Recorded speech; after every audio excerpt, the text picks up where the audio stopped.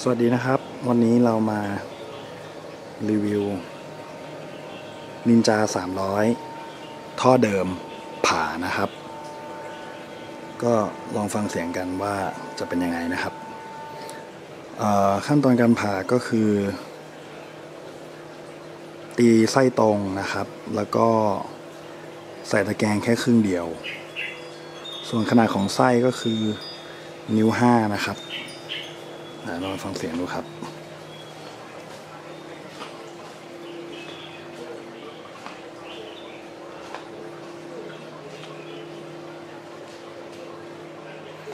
นี่นะครับ ก็จะเหลือขนาดนี้นะครับ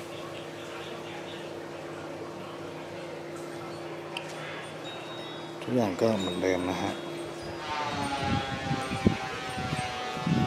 นี่นะครับเหมือนเดิม โอเค เดี๋ยวเราลองฟังเสียงดูครับ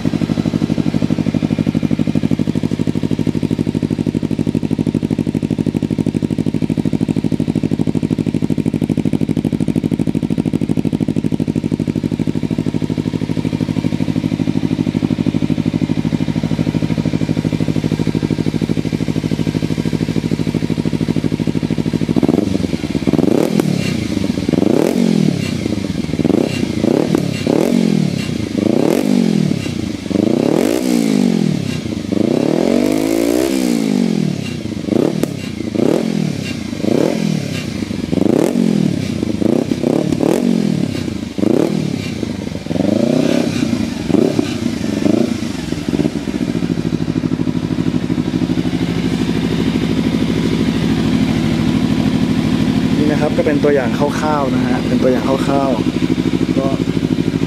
ดูแล้วก็ใครอยากจะใครไม่อยากจะเสียตังค์ไปไปกับท่อนะฮะก็ ลองวิธีนี้ก็ได้นะครับ ประหยัดดีนะฮะผ่าท่อครับอันนี้ขอบคุณมากครับ